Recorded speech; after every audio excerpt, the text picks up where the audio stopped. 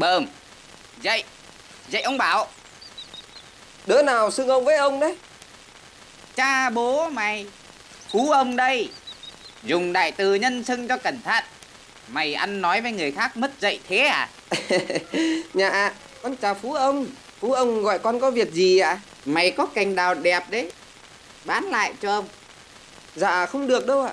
Cây đào quý này con tự nuôi trồng Bằng mô hình vườn áp chuồng của bản thân Dạ không bán được đâu ạ. Thôi Đổi lại cho ông cành đào này.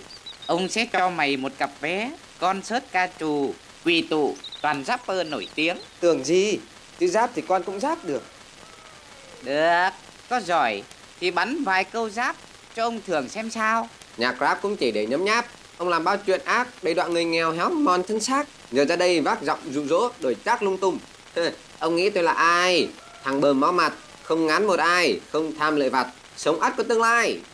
Nghe mày giáp xong Ông không muốn đổi đào nữa. Mày có béc benzin không? Đổi cho ông. Đầu năm ông uống béc benzin Là nó hãm hết lộc của ông lại đấy. Được. Thế bây giờ thế này Ông có con trâu. Giờ ông đổi nó để lấy cành đào của mày. Thế nào? Ừ. Ừ. Con trâu này xấu quá Đúng là chủ nào tớ nấy. Thế có đổi không? Đổi. Đúng lúc tối nay con cũng thèm ăn lẩu. Ờ. Bao năm qua con để ông cưỡi Vậy mà bây giờ ông lại vô tình. Thế cuối cùng mối quan hệ của chúng ta là gì?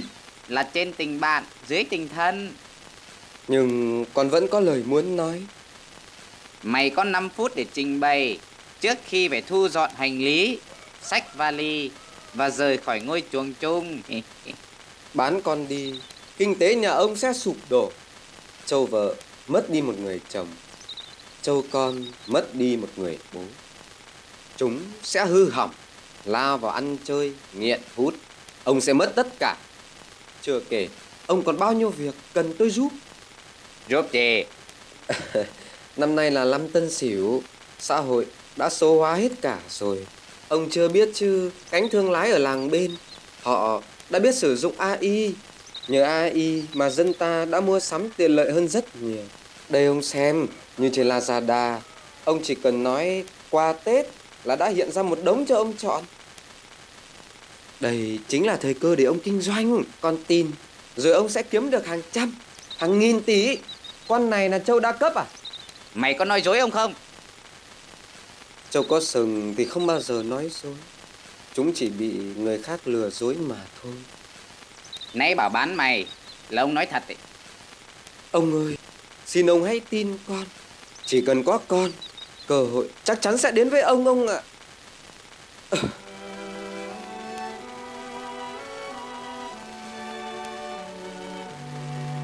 Ngay sau đấy một năm Nhờ có chú Châu Phú ông đã trở thành một tỷ phú tự thân Trong lĩnh vực kinh doanh online Với sản phẩm Châu gác bếp.